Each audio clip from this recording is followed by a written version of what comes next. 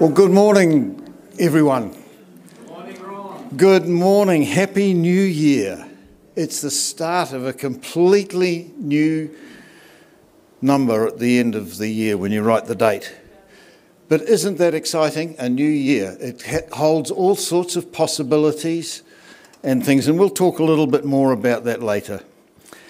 But it's nice to have you with us this morning. Uh, people that are here, the ones that are watching on the live stream, and the ones in the overflow room at the back. Welcome to Greerton Bible Church on the 2nd of January. Let's uh, open our time together with a word of prayer, and I've asked Carl if he would come and pray for us and for things that are going on in the world. Carl. All right, church, let's pray. Heavenly Father, we are indeed thankful that we are starting out uh, in another new year. And Father, we acknowledge that you know all things, that you know uh, what is going to come upon us this year, each and every one of us, uh, Lord. And we are thankful that you've revealed who you are, Lord. You've revealed your faithfulness um, to us in the Word, Lord. You've revealed the fact that you love us, that you care for us, and that we can trust in you.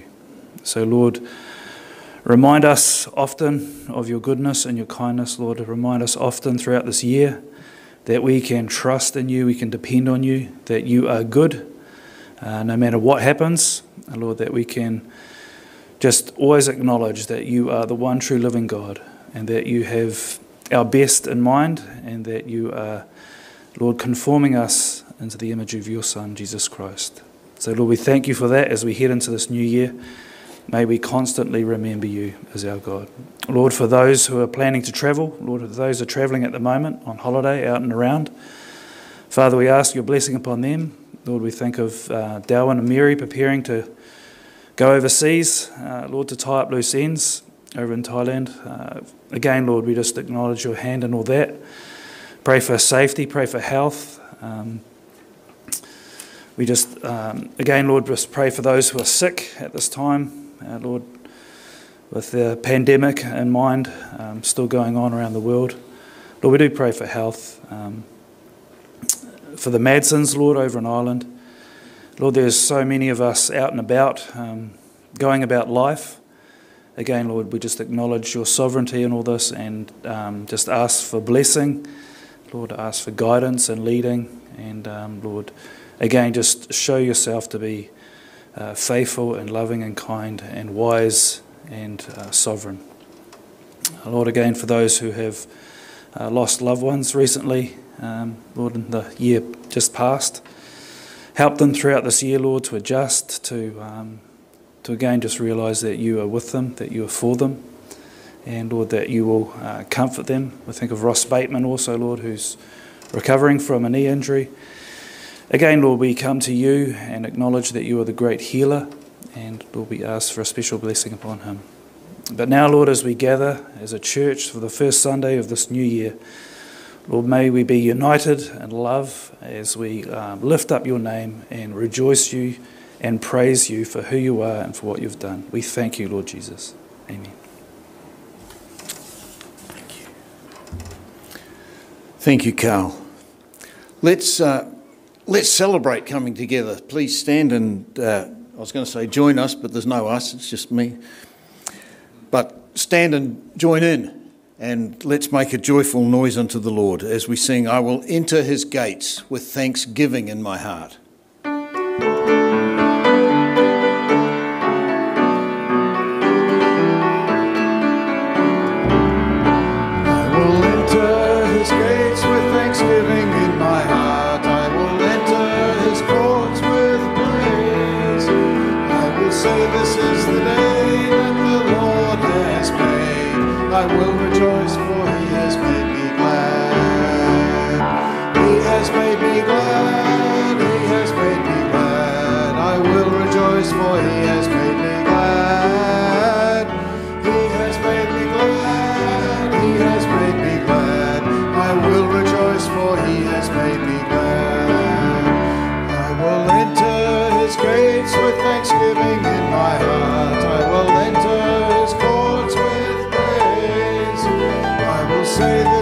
the day that the Lord has made. I will rejoice, for he has made me glad.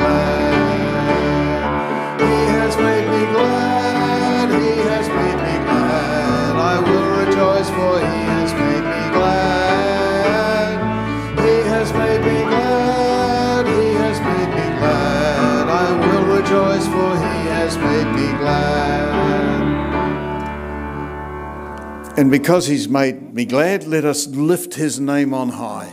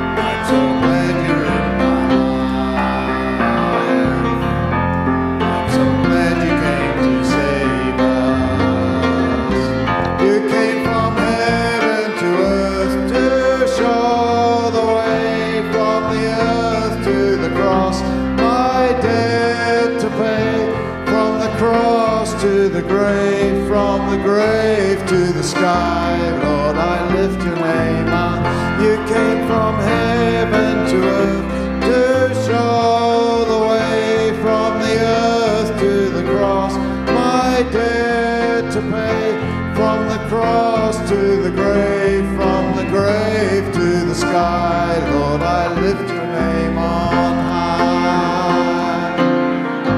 Lord, I lift your name on high. Lord, I lift your name on high. And let's continue to lift his name on high as we sing, Praise my soul, the King of heaven.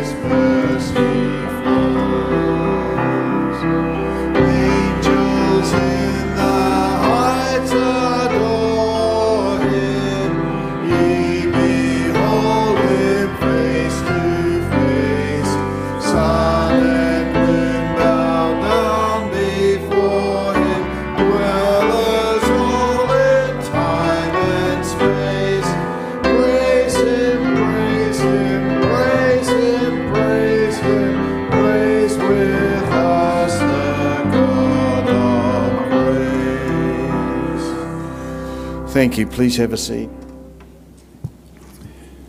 I'm going to ask Mike if he'd come and uh, read for us? Good morning. Our reading is from Acts chapter 1. We're going to read from verse 1 through to verse 11. Acts chapter 1, 1 to 11. In the first book, O Theophilus, I have dealt with all that Jesus began to do and teach until the day when he was taken up. After he had given commandments through the Holy Spirit to the apostles whom he had chosen, he presented himself alive to them after his suffering by many proofs, appearing to them during the forty days and speaking about the kingdom of God. And while staying with them, he ordered them not to depart from Jerusalem, but to wait for the promise of the Father, which, he said, You heard from me, for John baptized with water, but you will be baptized with the Holy Spirit not many days from now. So, when they had come together, they asked him, Lord, will you at this time restore the kingdom of Israel? He said to them, it is not for you to know the times or seasons that the Father has fixed by his own authority, but you will receive power when the Holy Spirit has come upon you, and you will be my witnesses in Jerusalem and in all Judea and Samaria and to the end of the earth. And when he had said these things, as they were looking on, he was lifted up, and a cloud took him out of their sight. And while they were gazing into heaven, as he went, behold, two men stood by them in white robes, and said, Men of Galilee, why do you stand looking into heaven? This Jesus who was taken up from you into heaven will come in the same way as you saw him go into heaven. May the Lord add his blessing to the reading of his word. Yes, he's coming back. Isn't that exciting? And in the meantime, our life is tied up in him. And we've got a couple more songs uh, for now. First one is My Life is in You, Lord.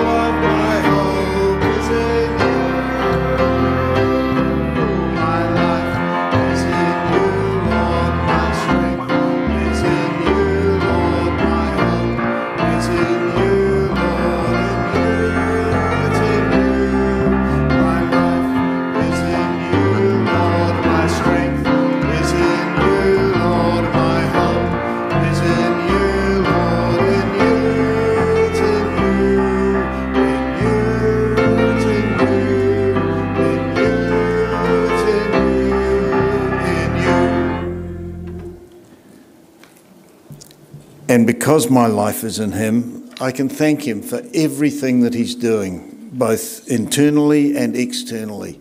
It's all good because He makes it good.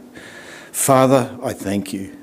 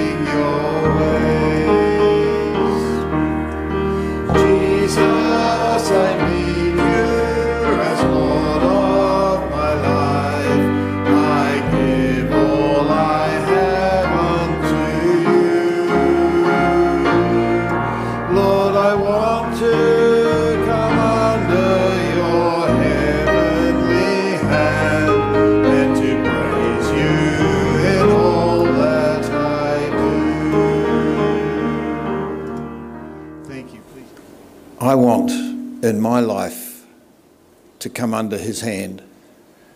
And in everything that I do, to be able to praise him.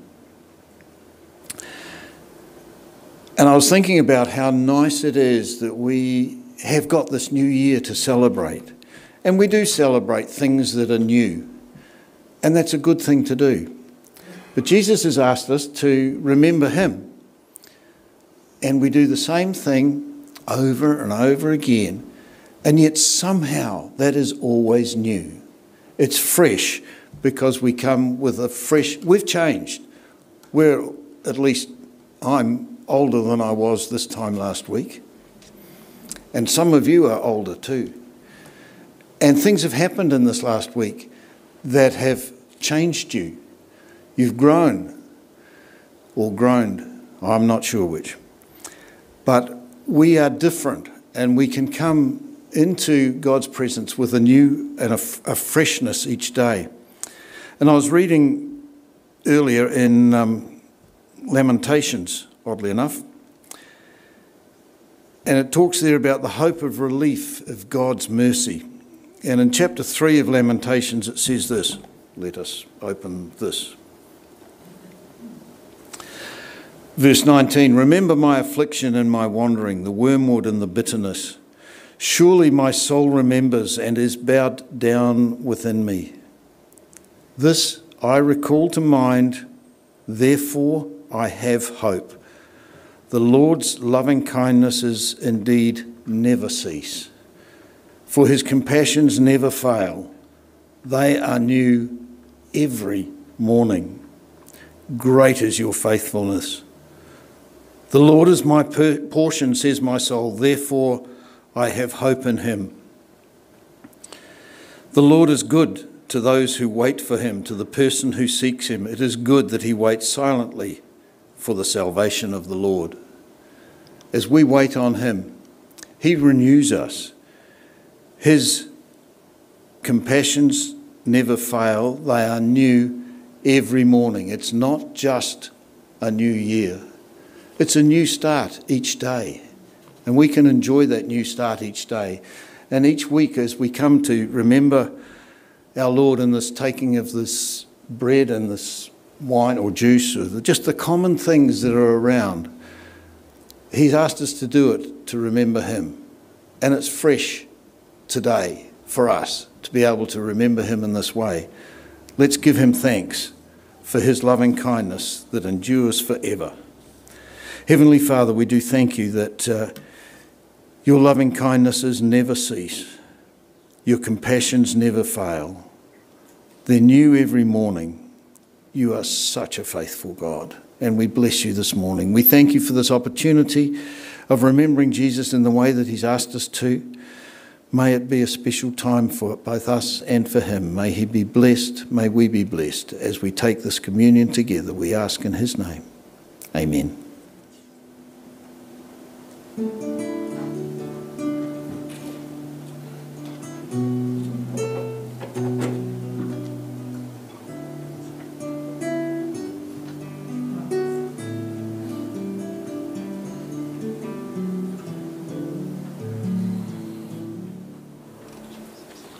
We thank you, Lord, for the wonder of what you did so many years ago, over 2,000 years ago, that we would be redeemed, that today we have the eternal hope through your death and your resurrection, for, for the, the pouring out of your body and your blood for us. And what a, a day we can rejoice today that we have a future and a hope. We thank you, Lord, for your word that you've written down Thank you for Sam and his faithfulness is here to preach your word. And we pray, Lord, that you bless the word to us, to Sam as well, that we can walk this year following in your footsteps, honoring you in everything. We pray you bless the word to, our, to us today. In Jesus' name, amen. Morning, church. Yes. I need to do certain things before I start off.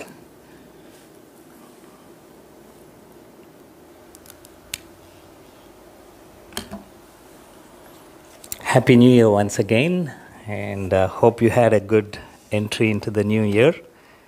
Uh, spending time with family, friends, traveling around, and as Ron says, eat and eat, which I was doing from Christmas on. Uh, deceptive looks at that. Uh, I thank the Lord for giving me yet another opportunity uh, on this first Sunday to bring His word to us. And uh, before we do that, before we really get into the word, let's uh, commit this time to our Lord. Dear grace and Heavenly Father, we want to thank you, Lord, for giving me and us this opportunity on this Lord's Day, O oh Father, to come into your presence, to praise you and to worship you. As we open your word this morning, Lord, hide me behind your cross. I acknowledge, O oh Father, that I'm unworthy to be doing what I'm doing this morning and I take courage in your Son Jesus and what he has done on the cross, that you have uh, given me uh, the grace to do this. Speak to me and through me to your dear children this morning. Uh, edify us, strengthen us, encourage us in Jesus' name. Amen. Today's portion, as you all know, is uh, uh, Psalms 67, and uh, let's read from verse 1 to the last verse 7.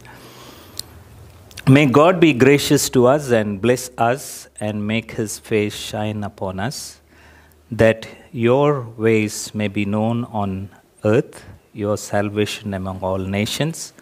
May the peoples praise you, O God. May all the peoples praise you. May the nations be glad and sing for joy. For you rule the peoples justly and guide the nations of the earth. May the peoples praise you, O God. May the peoples praise you. Then the land will yield its harvest, and God, our God, will bless us. God will bless us, and all the ends of the earth will fear him. You know, when we pray generally, uh, we think or we have an opinion that our prayers have to be specific. You know, uh, when we ask the Lord, we want to ask him very specifically, I want this, Lord, or I want, you know, heal certain people, or I'm going through a situation, I'm going through a circumstance. Uh, and we tend to have that, uh, you know, sense of understanding that, hey, when I pray to the Lord, I have to be specific what I need.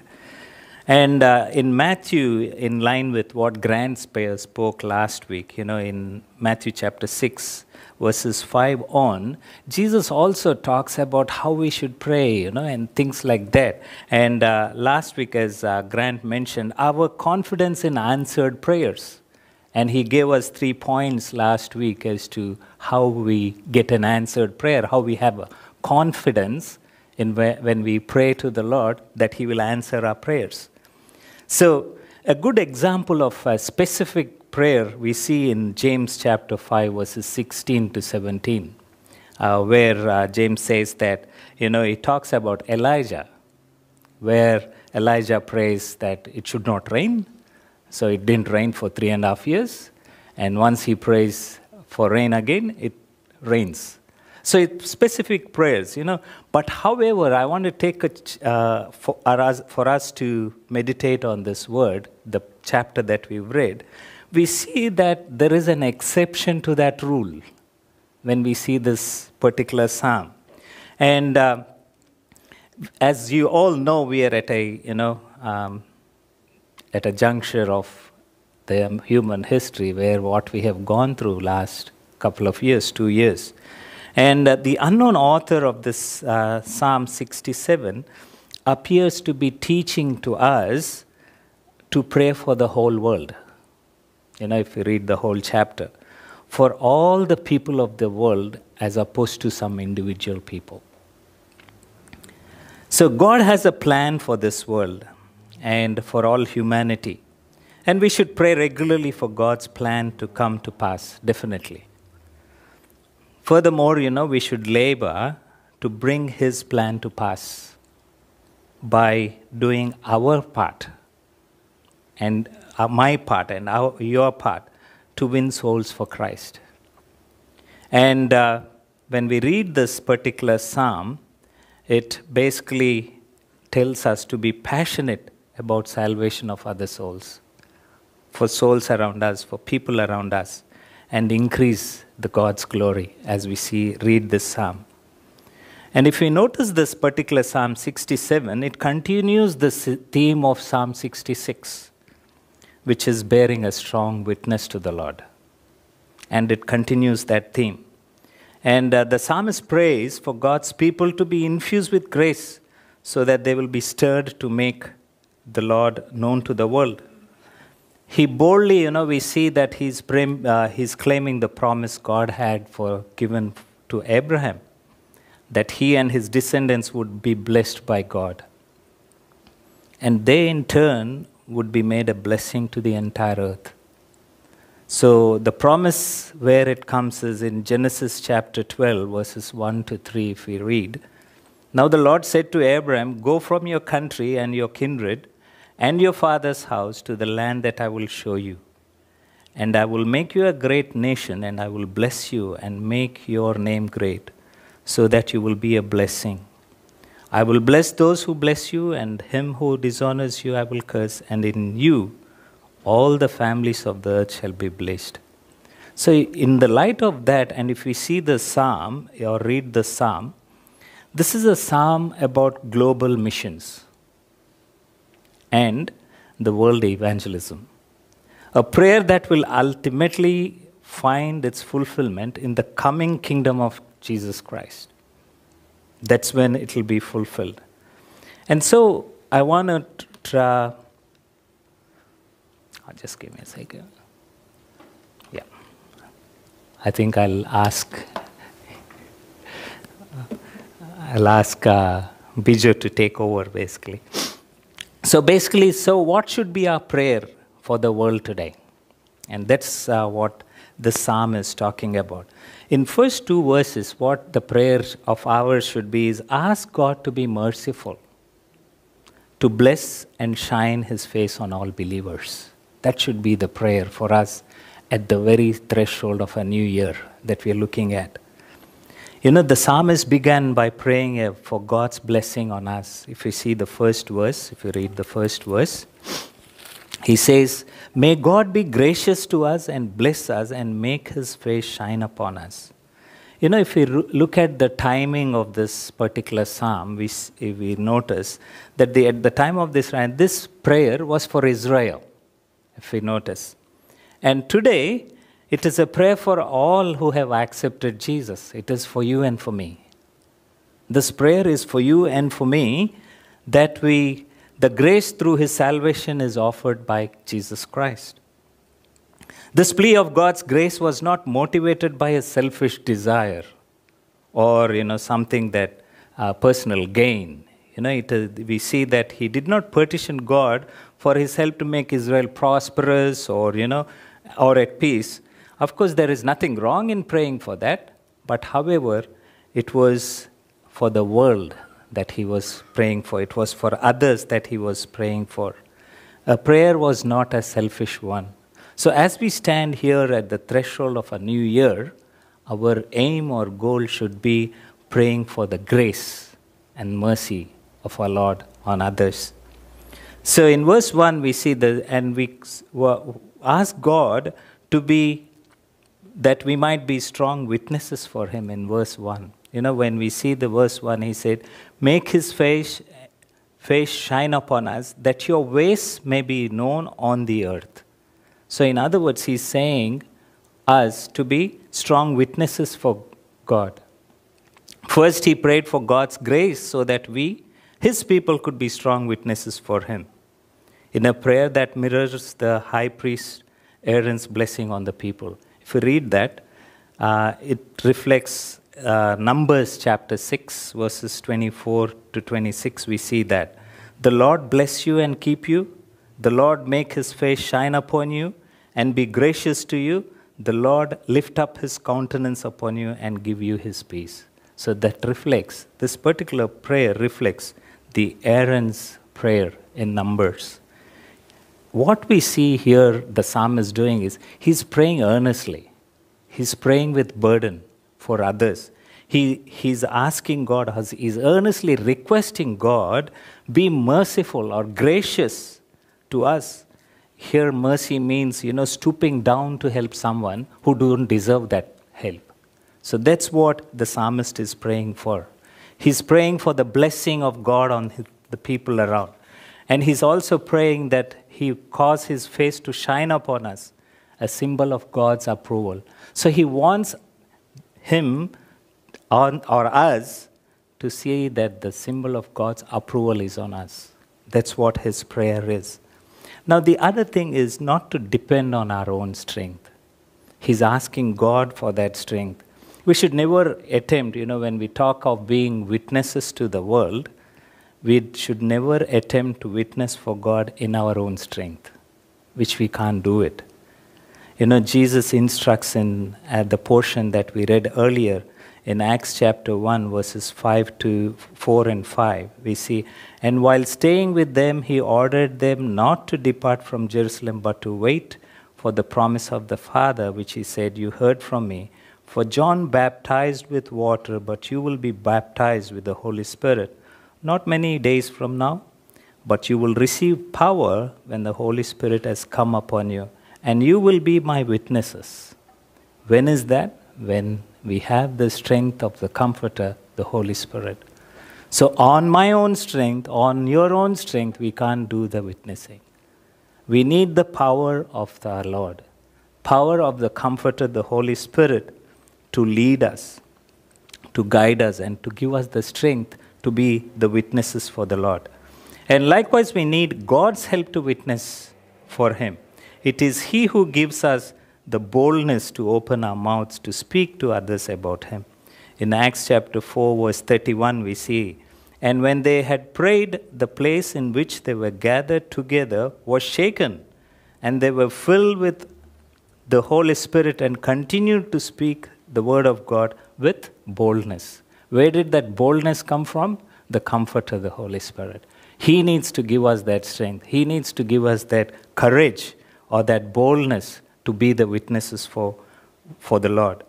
And it is God's Spirit, you know, who makes us our witnesses effective. It's not our words, it's not uh, my strength, or it's not what I'm saying to them, but the Lord gives us the strength. And it is God's Spirit who makes our witness effective. God, through His Spirit, draws people to Christ, convicting them of sin, righteousness, and coming judgment. In John chapter 6, verse 44, what does it say? No one can come to me unless the Father who sent me draws to him. So it's not what I'm saying to the people around. It's not what the witness I'm giving, but it's the power of the Lord. And He is going to draw them closer to the Lord. And when He comes in verse uh, John chapter 16, verse 8, when He comes, He will convict the world concerning sin and righteousness and judgment. So as I said, it's not you and me the, the Spirit of the Lord needs to work through us, through our witness, And the power of the Holy Spirit needs to change the people around us.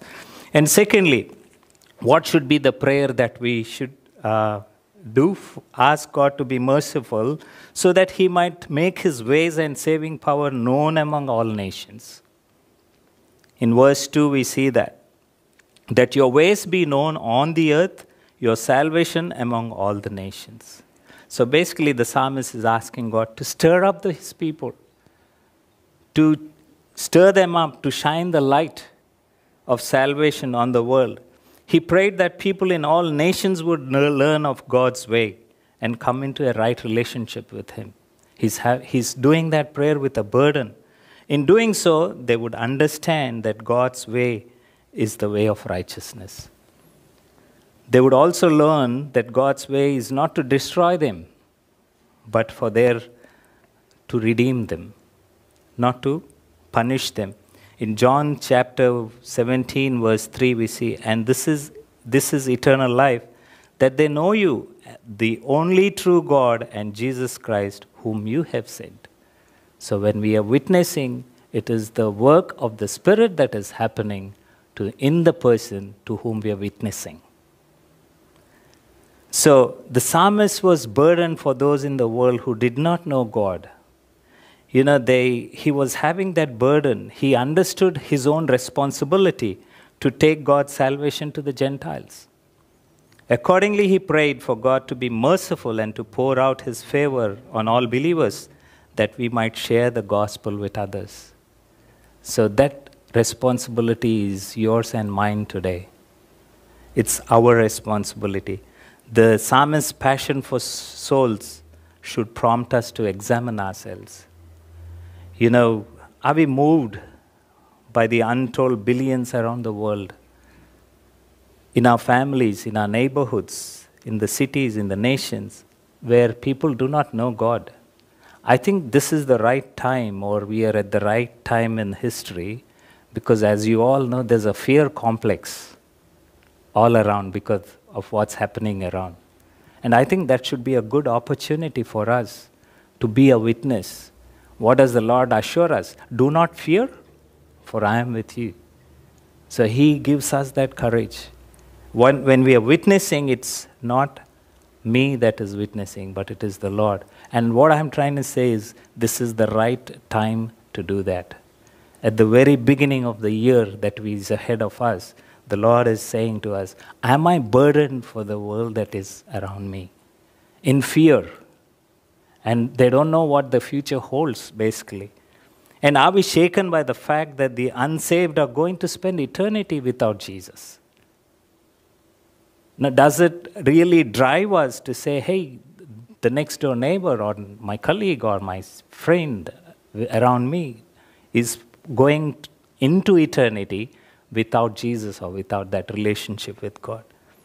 And in uh, Romans chapter uh, 10, verses 12 to 14, I want to read these verses, which are pretty relevant.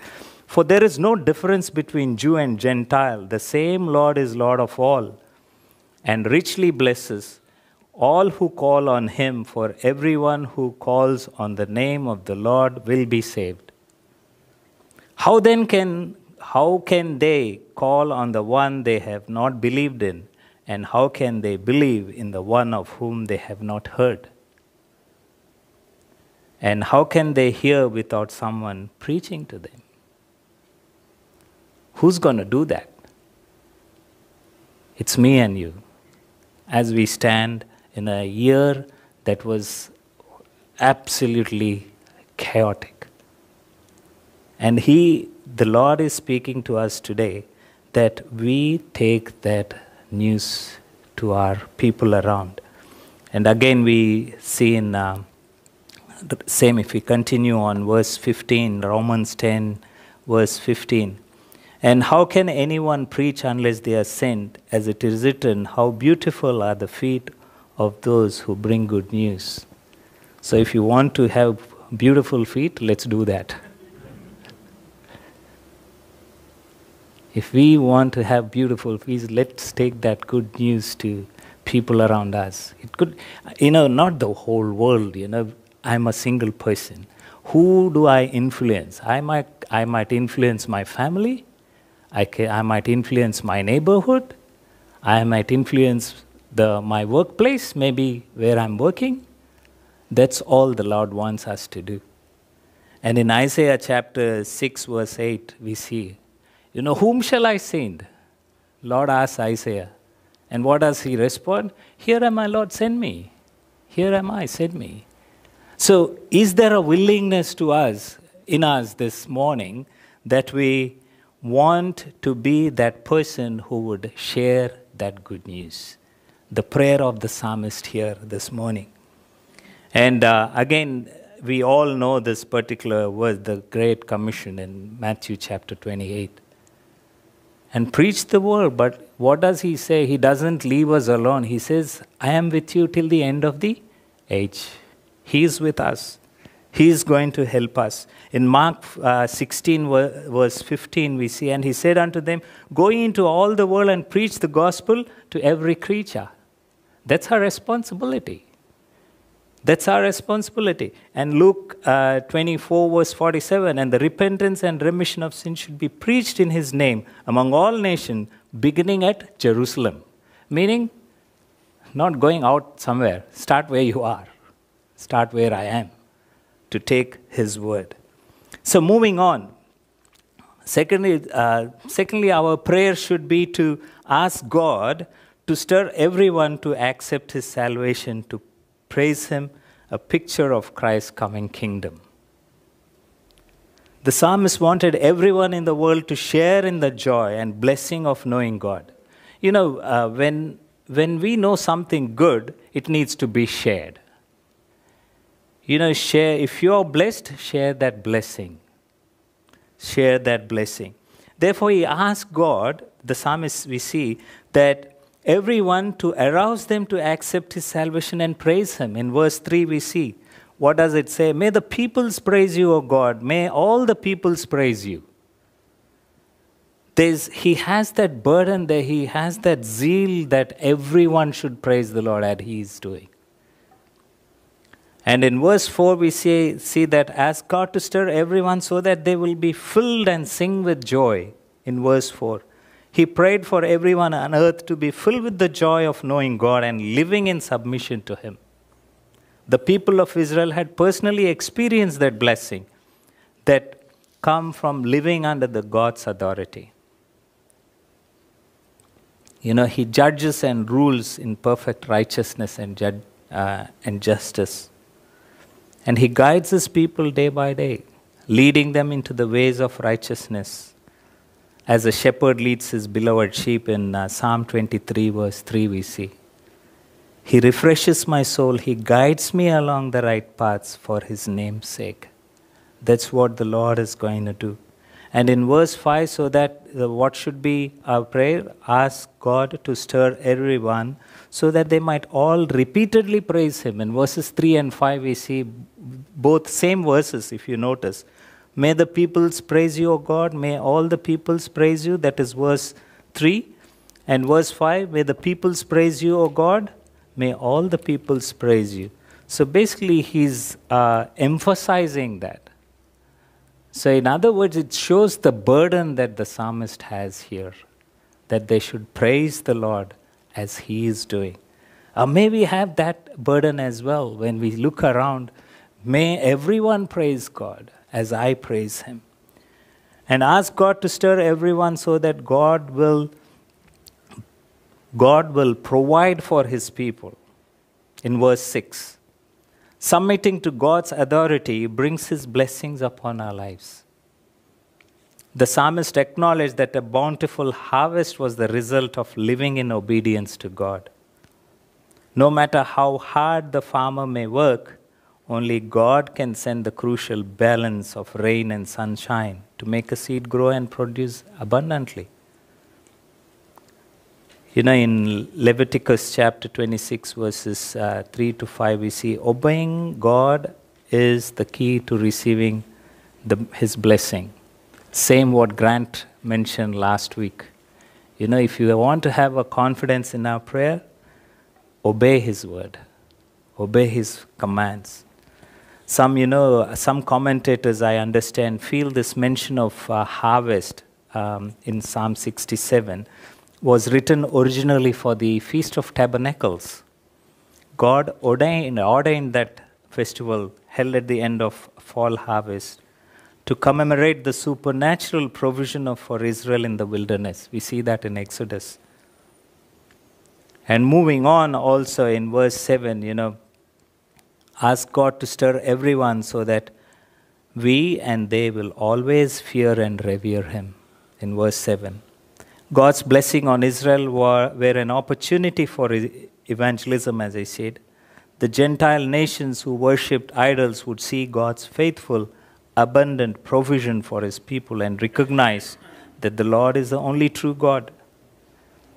As a result, they will acknowledge who God is for what we have witnessed and revere him and they would establish relationship with him through his covenant and uh, living in obedience to God and his word you know, I want to quote a great Bible teacher here, commentator, commentator I think uh, some of us, uh, most of us know, Warren Wiersbe, uh, stated like this, and I quote The application to the church today is obvious. As we obey the Lord, pray, and trust Him, He provides what we need, and the unsaved around us see that He cares for us.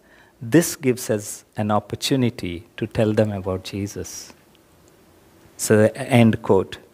You know, the psalmist's prayer here in this passage is being answered progressively, if we notice, as the church takes the gospel to the world. As you and I take that, this prayer is progressively answered. Progressively answered. Ultimately, though, his prayer will not fully come to pass until Christ returns until his kingdom is established. You know, we pray in the Lord's Prayer, Thy will, uh, our Father who art in heaven, Thy will be done on earth as it is in heaven. You know, so it is until His kingdom comes, the answer is not there. When the Lord's kingdom is established, only then will all the people of the earth praise God, as in verse 3 and 5.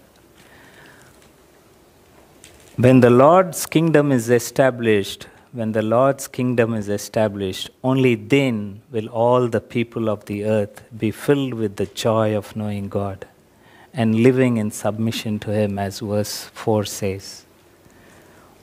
Only then will the people of the earth enjoy the blessing of living under the perfect leadership of Jesus Christ and His righteousness. When the Lord's kingdom is established, only then will the earth receive the blessing that comes from obeying God in verse 6. And finally, when the Lord's kingdom is established, only then will all the people fear the Lord, as in verse 7. You know, until the Lord returns, our Lord has commanded us to do the two things. I want you to take those two things away from this psalm. Two things. He wants us to pray for the God's kingdom to come in the Lord's Prayer, as the Lord's Prayer says, and to take the gospel to all the people. If we take those two points away from this particular chapter, that's what the Lord wants us this morning. You know, when the, we faithfully obey the Great Commission and worship, the worship of God will increase throughout the world and his kingdom will be established. So, when we are doing that, what I said is when we are sharing the blessing with the person next to us, that's once one soul being added and his kingdom is being established. That's how the answer to this prayer is progressively given. So, in, if we continue to read uh, in Philippians. I want to close with this one. Philippians chapter 2, verses 9 to 11. Wherefore God also hath highly exalted him and given him a name which is above every name, that at the name of Jesus every knee should bow, and of things in heaven and things in earth and things under the earth, and that every tongue should confess that Jesus is Lord, to glory of the God our Father. So, at this threshold of a new year, You know, the Lord is asking us, you and me, through this psalm, just do two things. Take away two things. Pray for the Lord's kingdom to come and take the gospel to the person next to you. May the Lord add his blessing to his word.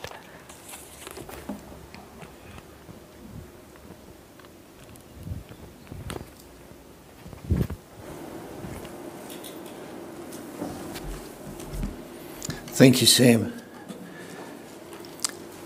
As we finish our time together here this morning, we've got a song that kind of reflects some of what uh, we read in the first verse. The prayer from the first verse is um, that we live, that we share this good news. And so let's shine for Jesus as we go out from here today. Let his life within us shine out. You know, allow ourselves to smile and things like that. Please stand.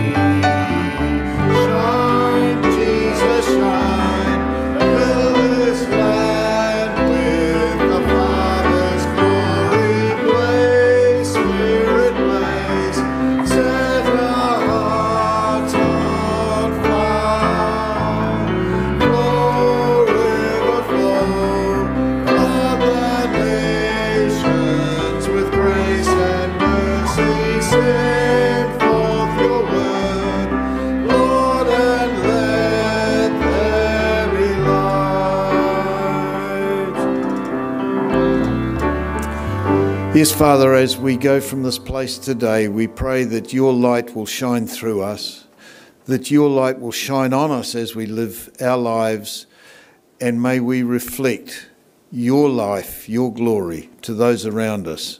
May our neighbours, our friends, our co workers, the people with whom we interact, see Jesus in us. We ask this in his name. Amen. Thank you, folks. Please have a seat. That concludes our time together this morning. Thank you for joining us. Look forward to seeing you again next week. May God bless you.